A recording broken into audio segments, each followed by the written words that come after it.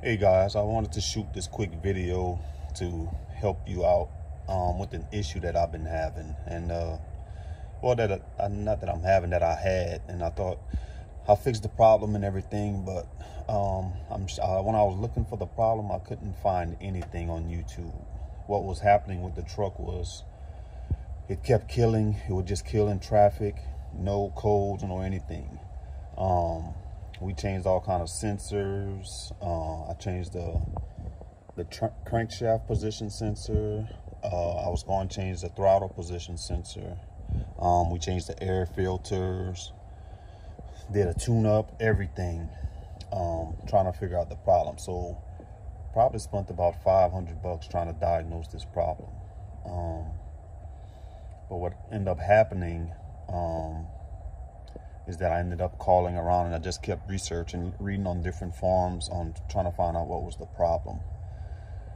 And uh, again, the problem was that the truck would just kill for no reason, no matter if um, we were just sitting in traffic. Um, a lot of times too, what would happen is when we would pull up at a light or a stop sign, the truck would just kill.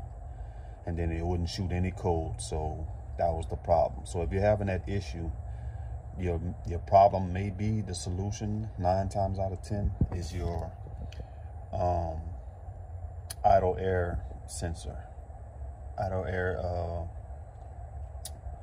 sensor and that's this part right here at the bottom. Right here is your throttle position sensor at the top which was the thing that I was going to change but I said well let me try it.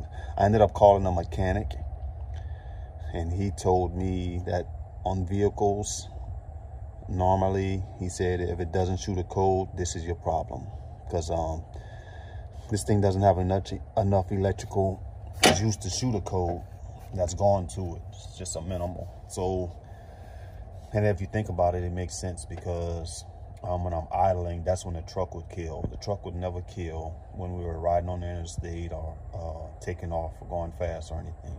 It always just kill we're just sitting at traffic or at a stop sign. So the part is easy to change. It's just two bolts right here, one right here, and then I think it's one on the side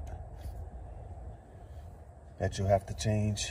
And uh, you unscrew it and just, I think it has a little tension on it, a spring, so you'll have to put it back um, in the same position, the new one that you took out the old one.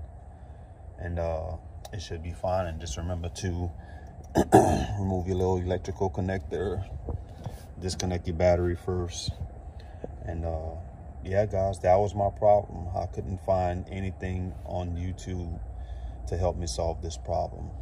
So i uh, hope this helps you out. It's a uh, the sensor was about 40 bucks 50 bucks. And uh hopefully this will save you money um save you from going to a mechanic um and save you the the headache and hassle of trying to diagnose the problem.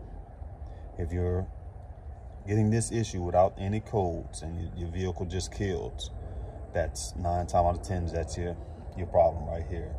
Your idle air sensor. Thanks.